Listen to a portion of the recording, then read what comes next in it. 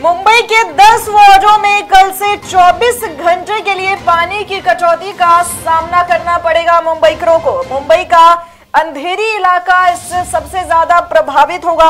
पानी कटौती की लिस्ट में अगर आपको इलाकों के नाम गिराएँ तो अंधेरी ईस्ट, सिब्ज, जोगेश्वरी ईस्ट, एमआईडीसी समेत अन्य उपनगरों के कई प्रमुख क्षेत्र इसमें शामिल हैं, जहाँ पर कल 24 घंटे तक पानी की कटौती देखी जाएगी।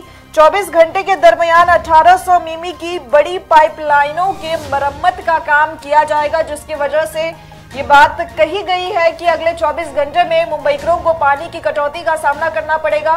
कल 29 नवंबर और उसके अगले दिन 30 नवंबर को भी पानी की कटौती का सामना मुंबईकरों को करना पड़ सकता है। और इसमें सबसे ज़्यादा प्रभावित अगर मुंबई का कोई इलाका होगा तो वो है अंधेरी।